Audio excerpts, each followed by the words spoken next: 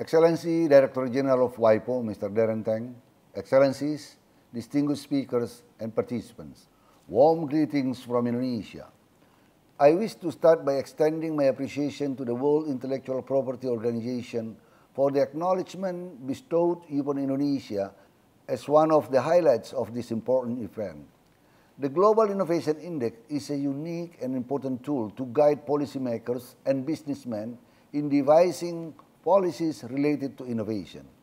The index becomes ever more important today as it helps the global community in charging ways to ensure that we emerge stronger from the pandemic and ready to face present and upcoming challenges, realizing better future for all.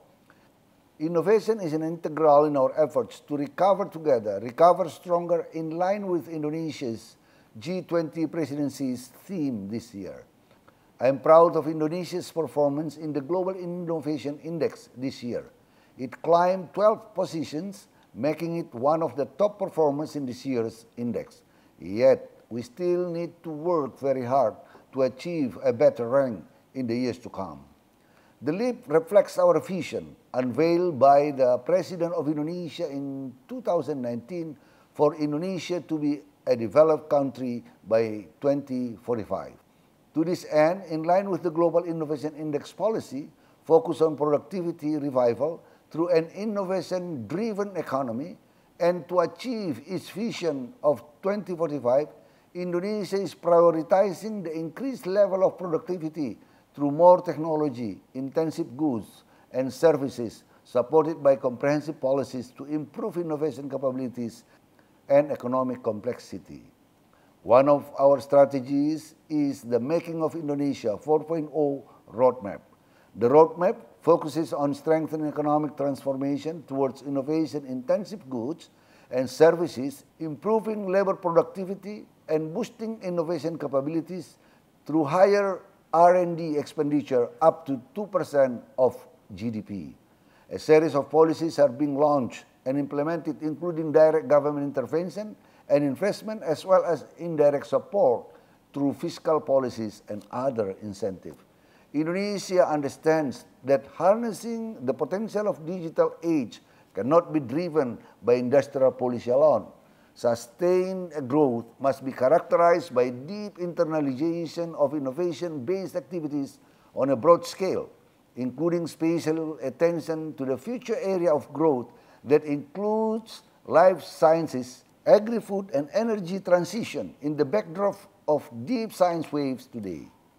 These are the three major areas within the making of Indonesia 4.0 roadmap to materialize higher productivity and economic transformation in our transition from a factor-driven economy to a full innovation-driven economy.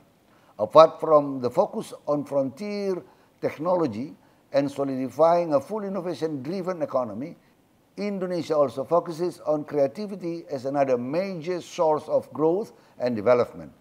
In Indonesia alone, the creative economy sectors contribute to more than 7% of the GDP of Indonesia's trillion dollar economy, with an export value exceeding 20 billion US dollar.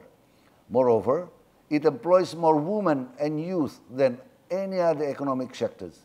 We need to ensure that the creative economy sectors will remain essential among the most dynamic sectors within our economy.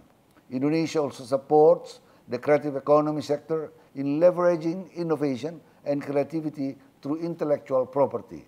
Our latest innovative policy is the issuance of government regulation on IP-backed financing in order to regulate the use of IP as collateral in financing mechanism.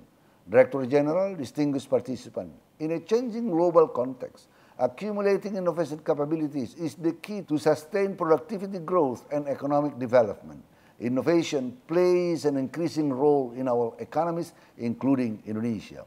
This is why the GII really matters.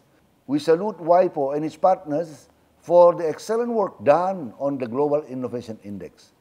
The index has and will continue to help us in redefining our identity as an innovative nation, realizing our ambition to be a global powerhouse of ideas, knowledge, innovation, and solution to global challenges. Thank you.